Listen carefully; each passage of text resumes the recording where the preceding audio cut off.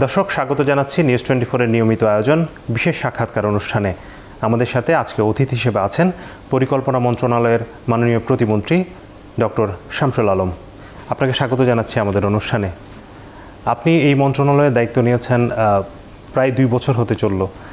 এই দুই বছরে আপনি বাংলাদেশের অর্থনীতিকে খুব কাছ থেকে দেখেছেন। এর আগেও আপনি আসলে সরকারের সচিবের দায়িত্ব পালনকালে আপনি দেখেছেন আরও কাছ থেকে। আপনি একটু যদি বলেন যে বাংলাদেশের অর্থনীতিতে আসলে গত কয়েক বছরে আসলে আপনি কীভাবে মূল্যায়ন করবেন? বিশেষ করে অনেকগুলো চ্যালেঞ্জ এর মধ্যে ফেস করতে হয়েছে ইউক্রেন রাশিয়া যুদ্ধ, তার আগে কোভিড সব কিছু মিলিয়ে আপনি অর্থনীতিটাকে কীভাবে দেখছেন?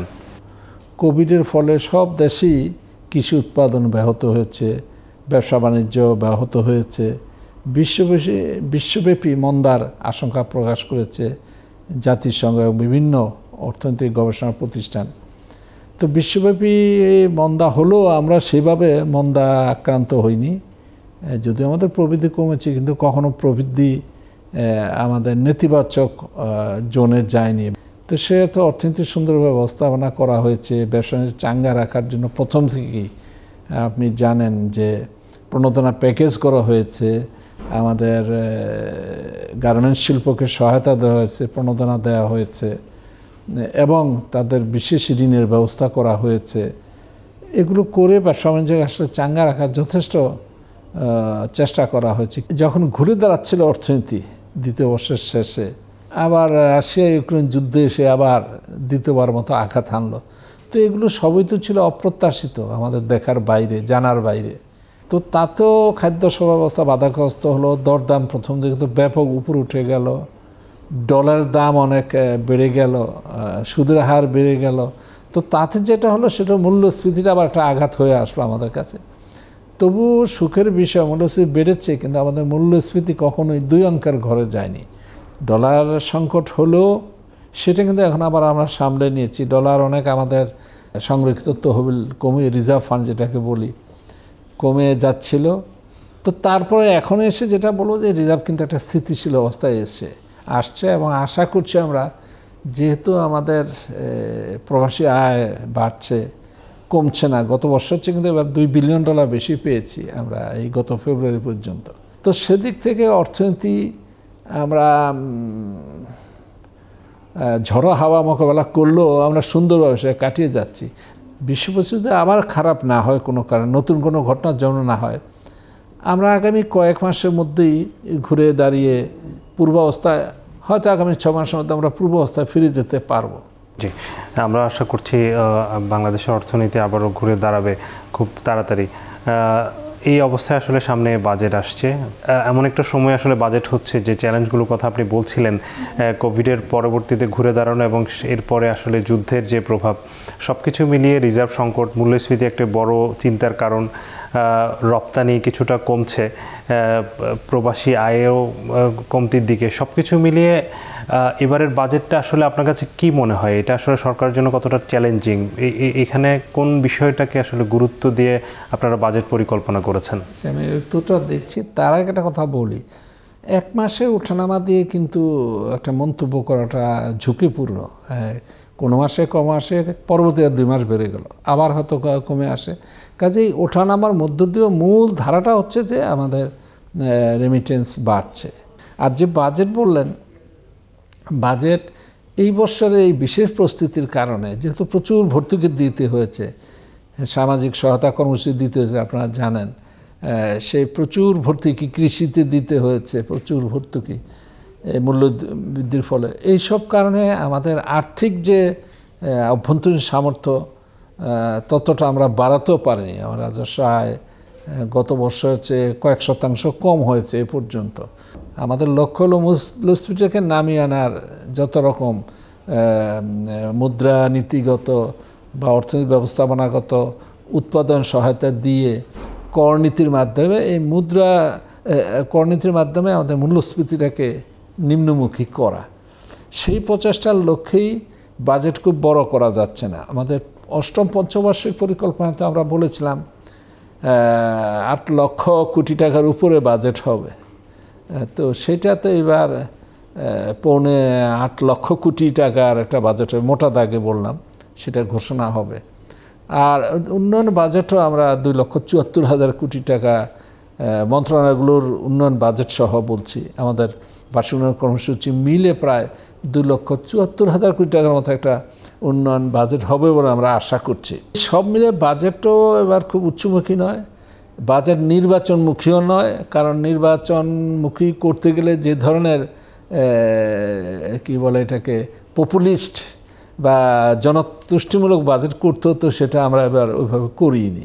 তো আশা করছি এই বাজেট আমাদের একটা অত্যন্ত ভারসাম্যমূলক বাজেট পরিস্থিতির সঙ্গে। এই বাজেট মূল্যস্ফীতি মোকাবেলার বাজেট।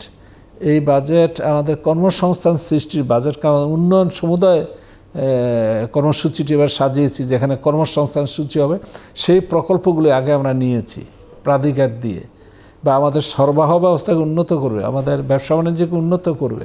সেই জন্য বন্দর, সড়ক, জনপথ, এগুলোর সংরক্ষণ, এটাকে গুরুত্ব দিয়েছি। তো আশা করি এটা সুফল পাওয়া যাবে। এই বাজেটের মাধ্যমেই আমরা আশা করছি আগামী কয়েক মাসের মধ্যে মূল্যস্ফীতি ক্রমান্বয়ে আমরা কমিয়ে আনতে পারব।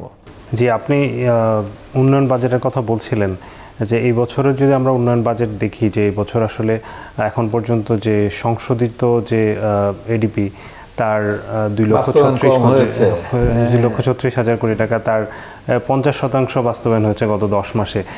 আমরা জানি যে শেষের দিকে আসলে বাস্তবায়ন হারটা বেশি থাকে কিন্তু সেদিক থেকেও কিন্তু এবার আসলে সেই গতিটা খুব একটা দেখা যাচ্ছে না।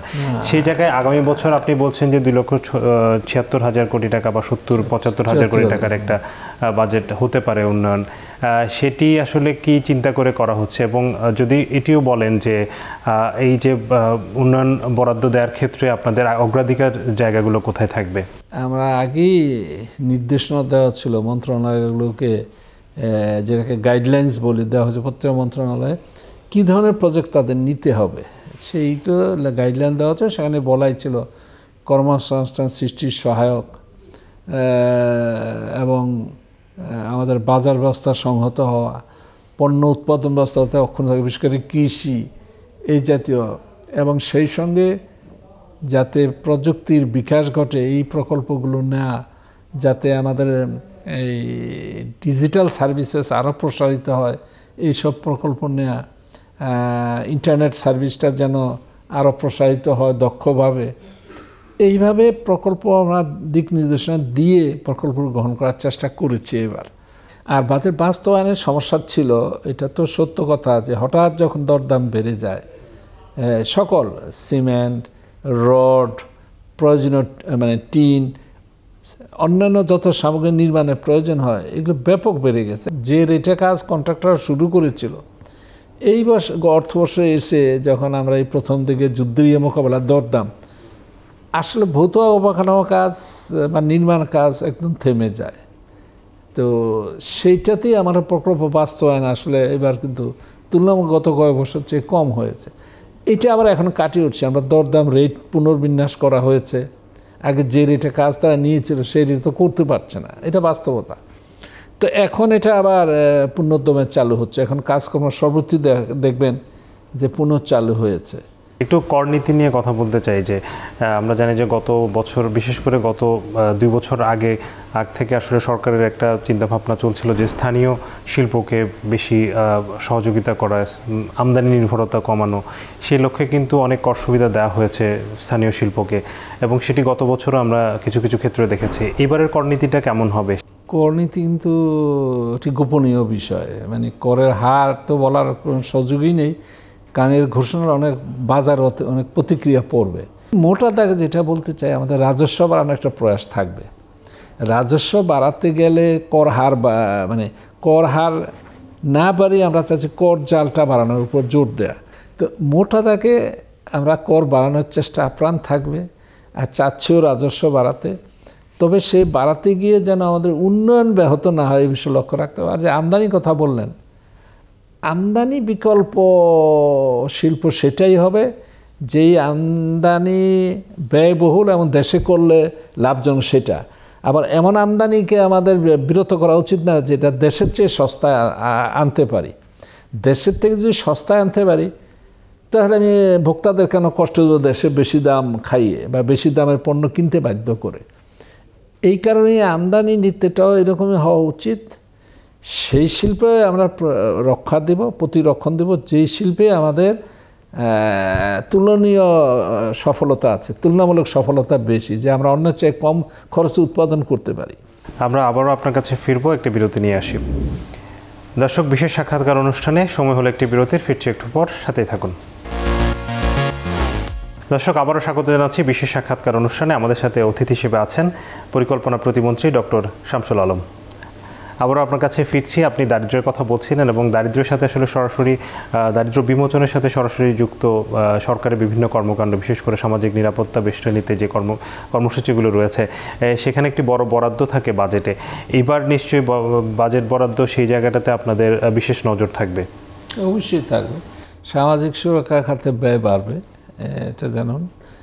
আর এই যে বিভিন্ন রকম সহায়তা কার্যক্রম, কম দামে চাল দেওয়া বিনামূল্যে চাল দেওয়া, ঈদ পূজা করা, সেগুলো তো অভ্যত বাড়বে। আমরা বহুমুখী সহায়তা দিয়ে থাকি। এই এখন তো জানেন যে প্রতিবন্ধী ভাতা প্রায় সাধারণ ভাতা দেড় গুণ পায়। তো এগুলো দেয়া হচ্ছে সকল প্রতিবন্ধী, গরিব, দরিদ্র হোক আর ধনী হোক, তারা ভাতা পাবে।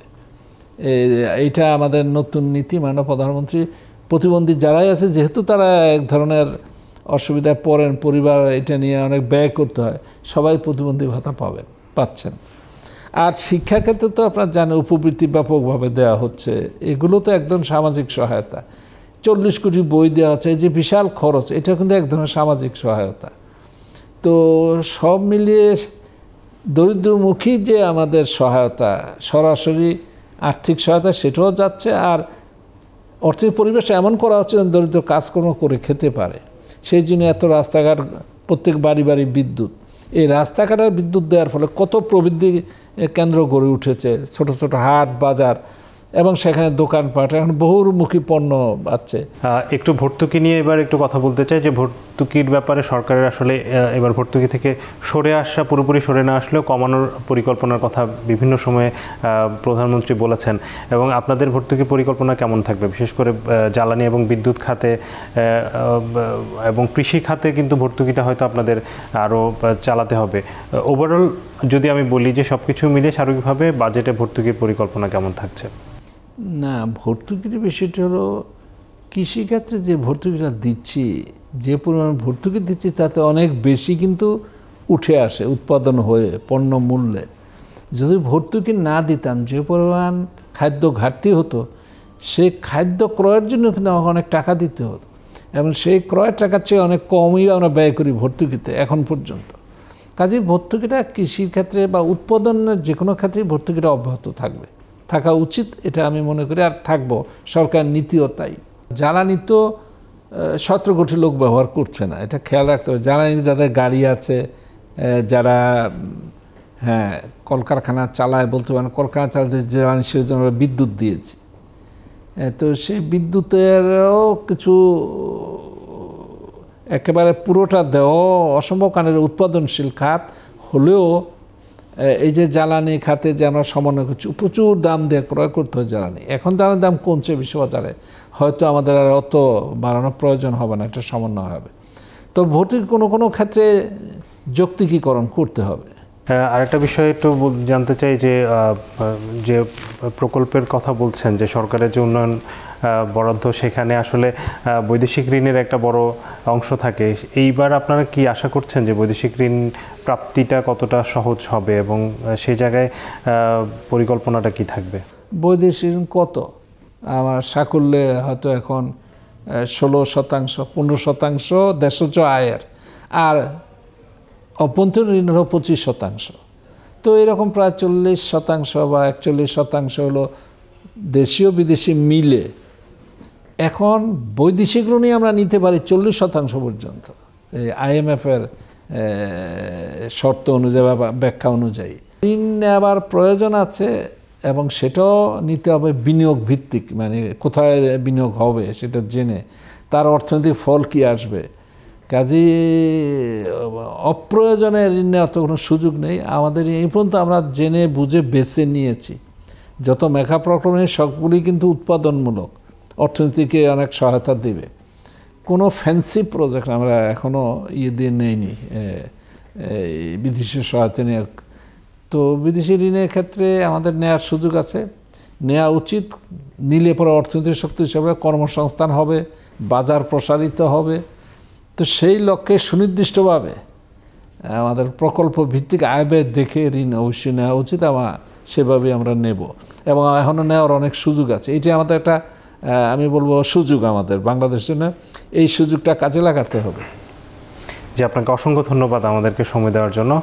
দর্শক, আমরা শুনছিলাম মাননীয় পরিকল্পনা প্রতিমন্ত্রী ডক্টর শামসুল আলম। তিনি অর্থনীতির বিভিন্ন বিষয় নিয়ে কথা বলছিলেন, বাজেট পরিকল্পনা নিয়ে কথা বলছিলেন এবং তার কাছ থেকে আমরা একটি স্বচ্ছ ধারণা পেলাম আগামী বাজেট আসলে কেমন হতে পারে। এই ছিল আমাদের বিশেষ সাক্ষাৎকার অনুষ্ঠান। আগামী পর্বে নিশ্চয়ই আপনাদের সাথে দেখা হবে। আল্লাহ হাফিজ।